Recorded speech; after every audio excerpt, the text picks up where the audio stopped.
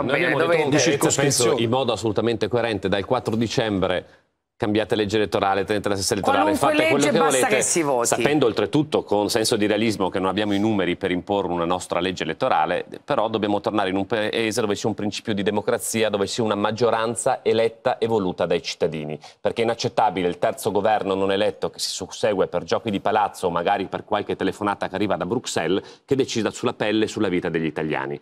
Quindi noi abbiamo messo davanti la eh, diciamo, necessità di andare alle elezioni il prima possibile. Dopo è chiaro, quindi abbiamo detto diamo il via libera a qualsiasi legge elettorale, che si facciano la legge che garantisca più posti a uno o all'altro, se la facciano, basta andare al voto.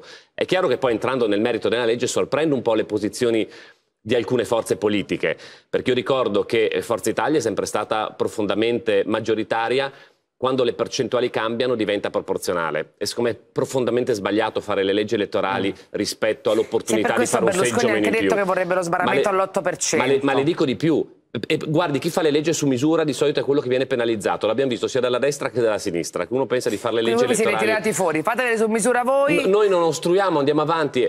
Il 5 Stelle che volevano, vi ricordate, scelta del candidato, preferenze, sono i cittadini che devono decidere, facciamo le parlamentarie, online, è il sistema più bloccato che esista questo. Liste bloccate dove i cittadini non scelgono nulla, perché non è vero che il collegio uninominale è una farsa, perché in realtà è tutta una ripartizione nazionale su un proporzionale dove farà scattare soltanto quei seggi nel listino bloccato e non, non entro nel tecnico, però che non scelgono gli elettori. persa e penso È che molto con me molti complicato. italiani, È molto perché la complicato. legge elettorale Però- è una di quelle complicato, cose ma- di cui capiscono solo i politici. Però che lo sappiano chiaramente Nemmeno, che è un sistema a liste bloccate. Esattamente. No, è Quindi- collegi, è No, ma collegi. non è- no, lo sai che non è così. Dopo eh, però non entriamo in tecnico. Quindi, sorpre- ma non ce l'ho con voi. eh, per cui- però i 5 Stelle ci dicevano: non vogliamo, vogliamo che i cittadini Eh. scelgano, scelgono l'esatto opposto. Quindi E si invece vede che- ognuno pensa ai fatti no, che propri più si avvicinano le elezioni. L'abbiamo fatta anche noi, e questo allora nel passato. Io do il merito questa volta, e lo dico chiaramente. ah, L'abbiamo fatta anche noi, quindi prendo tutte le colpe. Matteo Però Salvini do di il merito essere a Matteo Salvini che ha partes. detto: non, fate- non- non chiediamo una legge fatta su misura per noi,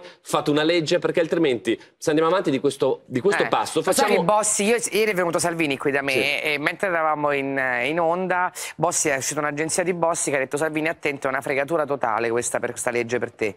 Ma guardi, se qualcuno pensa che eh, noi possiamo fare le leggi, se uno voglia fare leggi che gli convenga di più o di meno, ripeto, sbagliamo il percorso. Mm. Sappiamo, noi abbiamo 19 deputati e 13 senatori.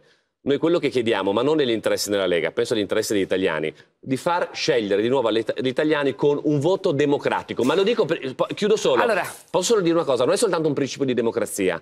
Guardate che un governo forte, con la legittimazione del popolo, serve anche nei rapporti, per esempio, con gli altri paesi e con l'Europa. Esatto, ora ci arriviamo. Questo è un altro tema che anche Merkel. Renzi ha sollevato.